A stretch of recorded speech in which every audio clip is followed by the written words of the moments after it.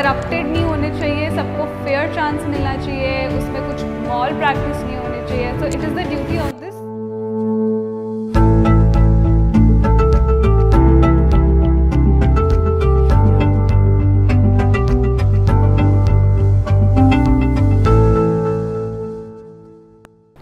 Greetings everyone. On behalf of Pathshala classes, I welcome you all. I, Vaibhavi Batra, am a law graduate myself and currently pursuing my masters in business law from NLSIU Bangalore welcomes you all. जैसा कि आप सभी जानते हैं that Pathshala classes has come up with an online CLAT marathon for the upcoming CLAT UG 2024 which is going to be held in the month of December 2023 And अगर आप लोग ये video for the first time देख रहे हैं या आप हमारे चैनल पे फ़र्स्ट टाइम आए हैं तो I just give you brief कि what is this online CLAT marathon about so हम लोग डील करेंगे with the topics of legal reasoning GK and current affairs for the upcoming CLAT examination for the under graduate last video में बस हमने brief दिया था and today is the video one जो हम स्टार्ट करेंगे and we will be taking the topics which has relevant in the coming examination it will help you a lot and let's see let's start also जो भी हम पढ़ाएँगे, वो आप सबको एक डॉक्यूमेंट के फॉर्म में अवेलेबल होगा in the comment section or in the link section, actually okay so, i think let's start with the topics for the day. So, we will be dealing with the topics under two heads. the first topic is the international news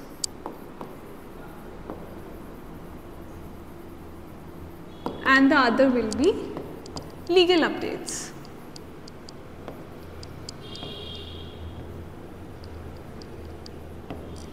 international topics पे हम deal करेंगे foundation Of Buddha university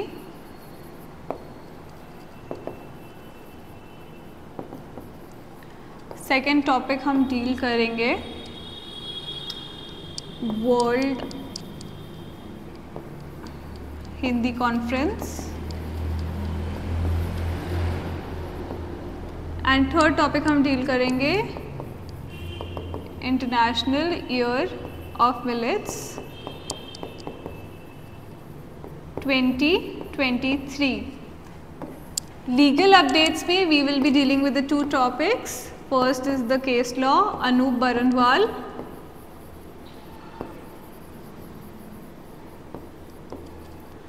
versus Union of India. So Union of India can be written as UOI in short 2023 and the other topic would be legal update by Kerala High Court and High Court can be written as HC. Okay. So let's start with the topics for the day. Yes. The first topic we would be dealing is foundation of International Buddha University. It is known as DDIBU. The Buddha University is known as DDIBU. The full form is Dhamma Deepa International Buddha University. It was founded on 29th November 2022 and it is established in Tripura, India at Manu Bankul in the Sabroom district of Tripura. Okay. The foundation was uh, stone was laid down by Shakya Gasan. He is the chief monk of the World Buddhist Pope Association of South Korea. इसमें से there are chances that questions could be put up like कि for example what is the full form of DDIBU or uh, who laid the foundation stone or when was it founded or where is that placed okay. Now the question comes why is it in the news? So it is in the news because it is expected to become the first Buddhist run university in India to offer Buddhist education along with the courses of other disciplines. Okay अच्छा हमने अब इसके बारे में तो जान लिया now let's we should also know कि what is Buddhism as a religion so Buddhism was started in India approximately 2600 years ago. It is very old and it was started by Lord Buddha. He was also known as Prince Siddhartha Gautama. And so basically uh, Buddhism is based on his life principles and his life lessons. It is based upon four noble truths and eightfold paths. The four noble truths which is also known as Araya Sachani and the eightfold paths which is known as Ashtangika Marg. So basically eight means Ashtang. So from eight you can learn Ashtangika Marg. Now let's come to four noble truths. Lord Buddha gave us four noble truths. First is that suffering is the essence of the world. दुख के बिना जीवन नहीं है every suffering पहला तो हो गया that suffering is the essence of world दुख. सफरिंग इज़ दुख. Second is every suffering has a cause हर दुख का एक कारण होता है. Third is suffering could be extinguished हम सफरिंग को ख़त्म कर सकते हैं. एंड द फोर्थ इज़ ये सफरिंग तभी ख़त्म हो सकती है जब हम एट फोल्ड पाथ फॉलो करेंगे. दैट इज़ अष्टांग मार्ग. Now let's come to eight fold path कि हम सफरिंग कैसे ख़त्म कर सकते हैं। Lord Buddha said that by following the eight fold paths we can finish finish our suffering, we can extinguish it. So, let's see what eightfold path is. First is right to view. अच्छा देखो। Second is right to intention जब तक हमारी सोच अच्छी नहीं होगी, जब तक हमारा इरादा अच्छा नहीं होगा, तब तक हम नहीं अचीव कर सकते हैं। दुख को ख़त्म नहीं कर सकते हैं। फिर है राइट टू स्पी राइट स्पीच हमें अच्छा बोलना चाहिए। अगर हम गंदा बोलेंगे तो हमारे साथ गंदा ही होगा। अगर जब तक हम अच्छा नहीं बोलेंगे, तब तक हमारे साथ अच्छा नहीं होगा। राइट एक्शन हमारा एक्शन अच्छा होना चाहिए। हमारा, हर चीज़ को करने का ढंग अच्छा होना चाहिए। राइट लाइवलीहुड जब तक हमारा कमाई का ज़रिया या हमारे रहन सहन का ज़रिया ठीक नहीं होगा तब तक we can not extinguish our दुख for example if we are engage in slavery और we are engage in the matters of human trafficking then it is against like basically it is against Buddhism. Then is right mindfulness, right effort हमारा effort भी अच्छा होना चाहिए, सही दिशा में होना चाहिए। जब तक हम अच्छा एफर्ट पुट नहीं करेंगे किसी चीज़ को अचीव करने के लिए, तब तक कुछ नहीं होगा। And then is right concentration. If we want to extinguish our दुख, suffering, then हमारा concentration उस चीज़ को लेके बहुत अच्छा होना चाहिए कि हमें अच्छा कॉन्सेंट्रेट करना अगर हमें कुछ बनना है तो हमें उस पर पूरा फोकस करना है। And and the essence of the whole essence of the four noble truths and the eight four path is basically the achievement of nirvana पूरा बुद्धिज्म का एसेंस ही निर्वाणा है निर्वाणा इज़ मोक्ष की प्राप्ति कि मोक्ष कैसे प्राप्त हो सकता है और मोक्ष बुद्धिज्म के हिसाब से इन सब चीज़ों को लेके ही प्राप्त हो सकता है नाउ हमने बुद्धिज्म के बारे में भी जान लिया। अब what extra questions could be put up from this topic ठीक है, एक तो हमने D D I B O देखा, फिर हमने बुद्धिज्म एज अ रिलीजन जाना, उसके एट फोल्ड पार्ट्स जाने एंड उसके फोर नोबल ट्रूथ्स जाने, उसका एसेंस भी जाना। अब हम बात करते हैं कि क्या क्वेश्चन आ सकता है। So the next question which could come from this topic is कि how many texts are there in Buddhism Buddhist text so there are three Buddhist text first is Vinaya Pitaka second is Sutta Pitta Pitaka and third is Abhidhamma Pitaka so the question could be put up कि how many text are there in Buddhism और uh, वो तीनों option दे देंगे and पूछेंगे कि इनमें से कौन four option and the fourth option कोई एक्स वाई जी दे दिया एंड उसमें से पूछेंगे कि which among these is not a text of Buddhism okay Apart from this, UNESCO's heritage sites which are related to Buddhism in India are first is Nalanda Mahavira, it is in Bihar, Nalanda. Second is Buddhist monuments at Sanchi, Madhya Pradesh. Third is Mahabodhi temples, again in Bihar in Bodh Gaya. Fourth is Ajanta caves, Maharashtra, Aurangabad. And the fifth is the Buddhist chanting of Ladakh. It is also included in UNESCO's representative list, list of humanities intangible cultural heritage in the year 2012. So now you know कि कैसे कैसे question इस topic से आ सकते हैं it's a very small topic but it is interrelated with a lot of things now let's come to our second topic which is international year of millets so basically इसको start करने से पहले we should come कि what are millets actually? आपने ज्वार, बाजरा, रागी तो सुना ही होगा। तो बेसिकली जो मिलेट्स यही हैं, ज्वार, बाजरा, रागी पर हम एग्ज़ाम्स में ये तो लिख के नहीं आ सकते। तो एक हम उसकी डेफिनेशन देखते हैं, कैसे इसको डिस्क्राइब किया गया है। तो millets is basically a collective term referring to a number of small seeded annual grasses ठीक है? That are cultivated as grain crops on a marginal lands and ये कौन से एरिया में कल्टिवेट होती है? वो है temperate, subtropical and tropical regions. Commonly millets available India है तो मैंने आपको बताया ही है ragi jowar bajra sama etcetera etcetera India is the largest producer of millets in the in the whole world actually following Nigeria and China and ये तीनों countries India Nigeria and China they account for more than 55 percent of global production आप देख रहे हैं इसका कितना ज़्यादा importance है और हमारे इंडिया में कितना ज़्यादा India is India is leading in millets actually now coming back to our topic अब हम समझ चुके हैं कि मिलेट्स एग्जैक्टली है क्या। Let's start with international year of millet so year 2023 has been proposed by india to be observed as international year of millets okay It was approved by Food and Agriculture Organization in 2028, in 2018, way back. Food and Agricultural Organization is abbreviated as FAO.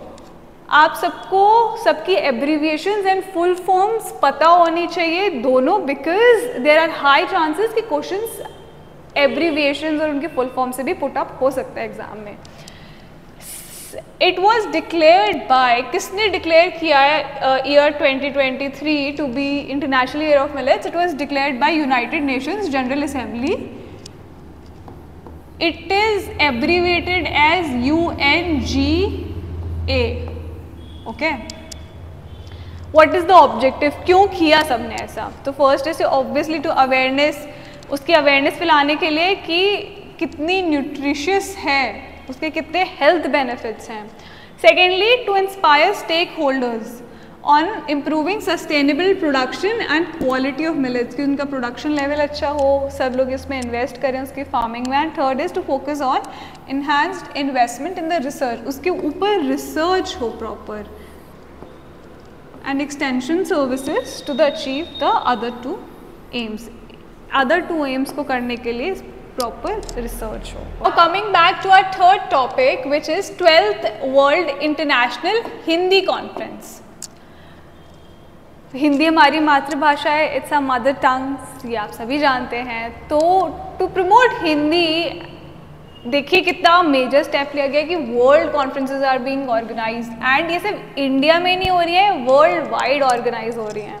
तो let's start with the topic It is also known as Vishwa Hindi Sammelan. It was held in Nadi, Fiji. Fiji is a group of islands.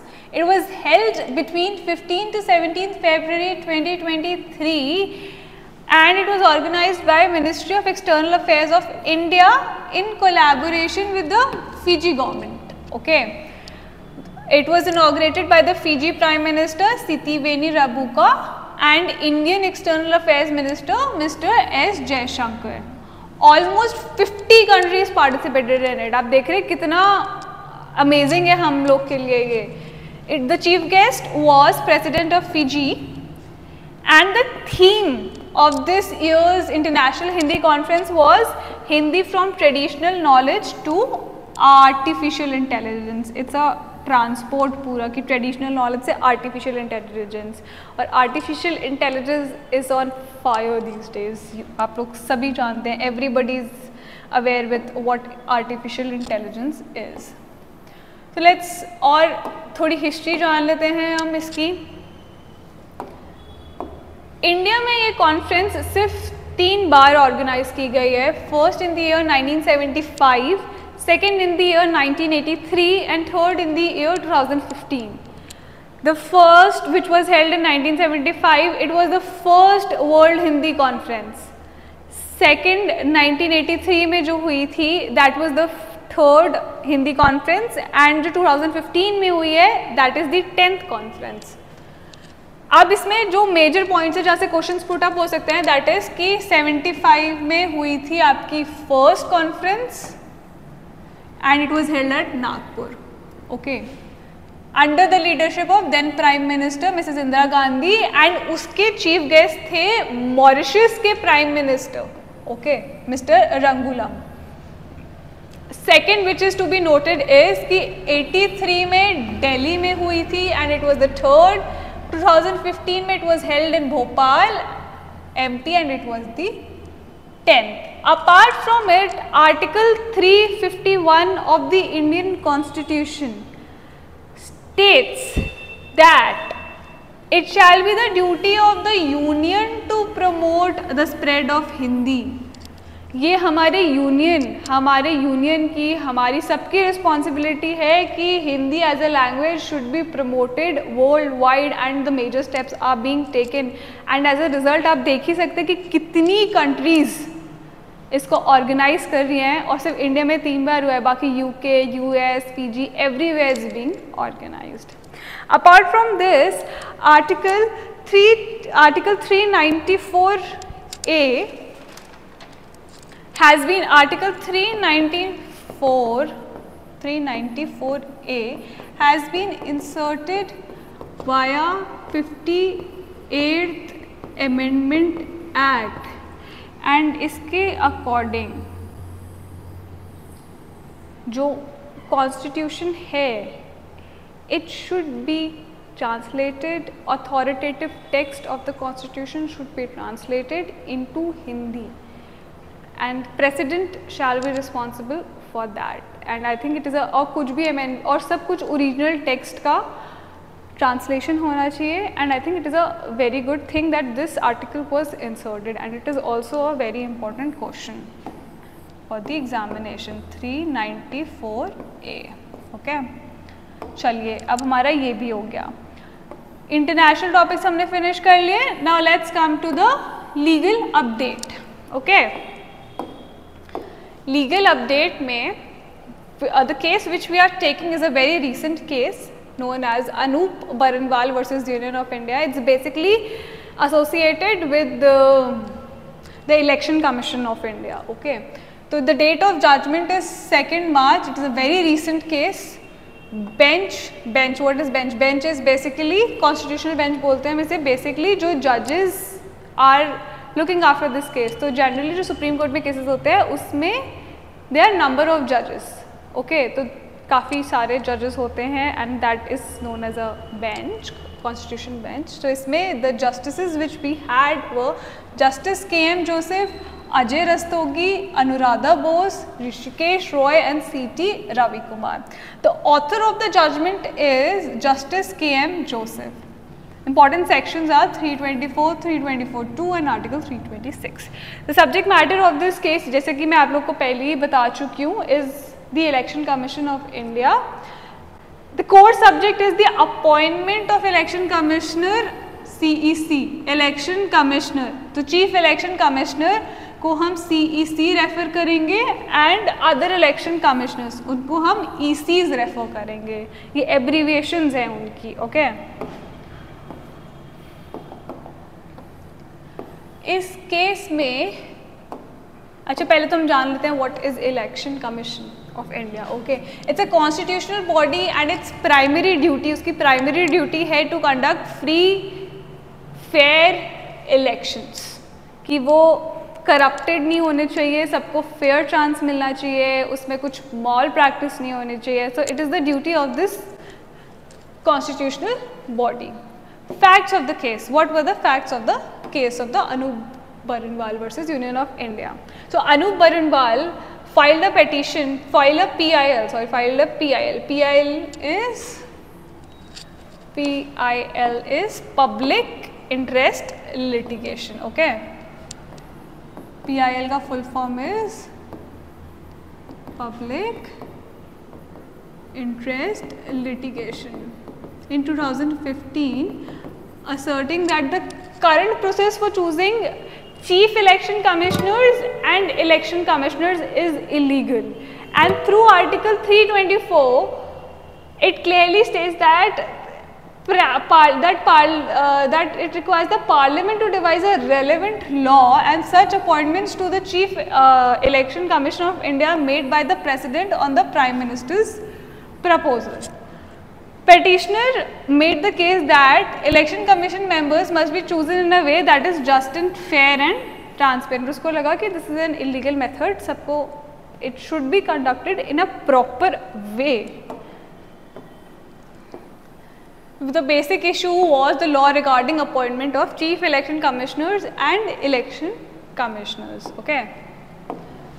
The direction what the court at the end जब judgment आया तो court ने direction दिया कि the to appoint the members of election commission of india and to take away the powers of the appointment from the sole domain of the executive the direction was given that a three member committee supreme court बोले हैं कि एक three member committee comprising of the prime minister of the country leader of the opposition in Lok Sabha and the chief justice of India will choose the chief election commissioners or other election commissioners but the court at the same time declare that a law needs to be passed by the parliament under article 324 so basically उसने बोला कि अच्छा supreme court gave the direction कि अब जब भी जो भी चूज़ होंगे ये लोग election chief election commissioner commissioners तो ये तीन लोगों का होना ज़रूरी है ये तीन ही डिसाइड करेंगे.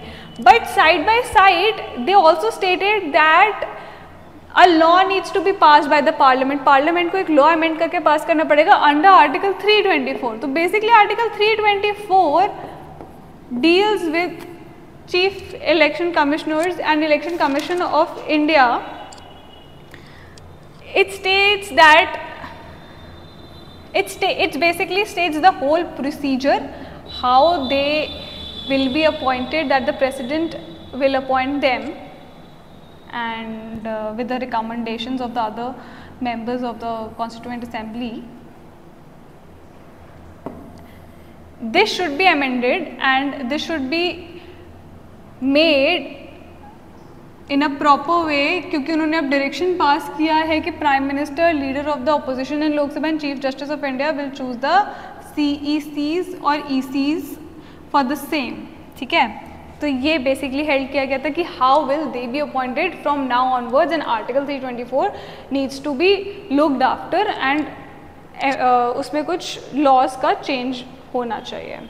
इसके अलावा extra G K point what we can add is कि टर्म क्या है इनका? सिक्स ईयर्स और the age of 65 ठीक है? रीअपॉइंटमेंट uh, इनका ईसीस का हो सकता है एज चीफ और चेयरमैन बट सीईसीस का अपॉइंटमेंट रीअपॉइंटमेंट री एलिजिबल नहीं है वो लोग. Apart from this The first CEC was Sukumar Sen and current CEC is Mr. Rajiv Kumar. Okay. So we are done with this topic also. Apart from this, the last topic for today's video is the legal update of Kerala High Court. So, Kerala High Court has become the first High Court in the country to publish its judgment in the regional language. Very commendable कि आपने जो भी high court का judgment है अपनी regional language में publish किया है the Kerala high court has publish two judgments in Malayalam on 21st February 2023. So remember the date, remember the legal language and remember the High Court which has done this for the very first time in the country. It also, uh, also 21st February is also observed as International Mother Language Day. And the judgments in the Malayalam were uploaded on the court's website just below the English version. And आप लोग Kerala high court की website पे जाके you can check the same also if you want to change if you want to check it okay so I hope so we are done with today's class and I hope आप लोग को सब कुछ अच्छे से समझ आया हो एंड कुछ भी if you guys want any improvement और एनी थिंग और want to add on something for our series do comment and will definitely consider it apart from it we'll be sharing the Telegram link with you all आप उसको scan करके हमारे Telegram group पे add हो सकते हैं and uh, उससे आपको डेली लीगल अपडेट्स मिलती जाएँगी. Apart from it if you guys are watching this channel for the first time and if you have not seen if you have first, first time coming across it then please do follow us subscribe us so that notification जैसे भी नो जो भी new video आएगी आप तक पहुँच सकती है। एंड जो ऑलरेडी वॉच कर रहे हैं and if you liking us do like us and I will see you in the next video with more new topics with new learnings thank you so much have a good day.